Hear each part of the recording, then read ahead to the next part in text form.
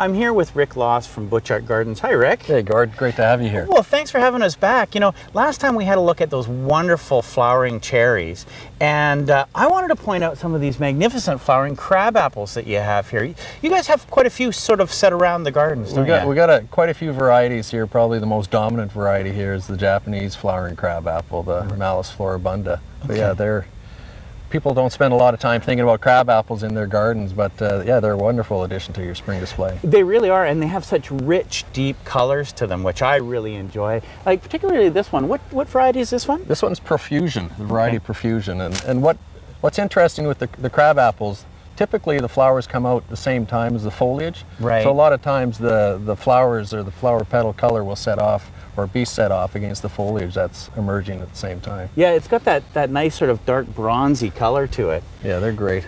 Now, the other nice thing that I love about the uh, the crabs that you have is so many different forms. Um, now, I understand you even have a topiary uh, crab apple around here. We do have a, a small little old variety in the Japanese garden called Lizette, which probably no one has heard of. But yeah, it's been trained, and people look at it and are amazed at what we've done with a crab apple. These are these are things that things that are usually not done at all with uh, with these kind of trees. crabs, but they naturally have this sort of. Uh, I guess you could say gnarly sort of look to them.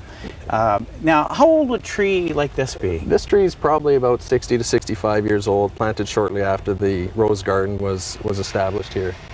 Yeah, the structure, yeah, they do get this, this great look once they age, and that, that's another feature for off-season. Not a lot of plants have that off-season beauty but or interest, but crab apples are particularly interesting. They really are. Now, what variety is this one? This is a Floribunda rosea, oh, okay. which is a, a, deeper rose color or pink color than the, the, your typical floribunda. Okay. Now the other one we looked at had sort of a bronzy leaf. This one has a nice green leaf it, to an accent to it. It has a, a, great green leaf, and, and one of the things that's also neat about it is the fruit. Oh, okay. The crab apples that come later, and as the trees get older, they're not as proficient in, in the amount of fruit that they produce, but they produce a nice yellow fruit. Again, that carries you into late fall, early winter for okay. more interest in your garden. Now I'm gonna I'm gonna be the uh, devil's advocate. All the people say I don't want fruit, I don't want mess. Are crab apples a very messy tree?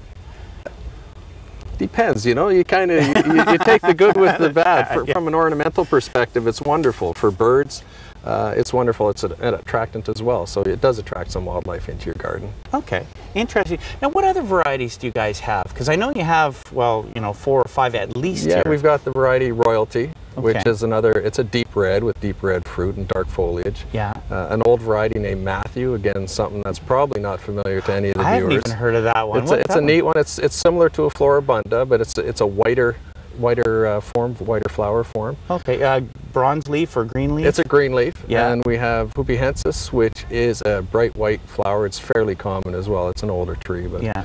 Uh, yeah, for the most, I think for the most part, those are the varieties that we have, and the most common variety we have here is the yeah. Floribunda. Oh, neat. So if you've got a, a full sun area, fairly good soil, crabapple will work for you? Crab apples are great. They're a great small tree, and and the benefits are, you know, are wonderful for a small garden and there's not a lot of pest problems that we deal with here. Perfect. Thanks a lot.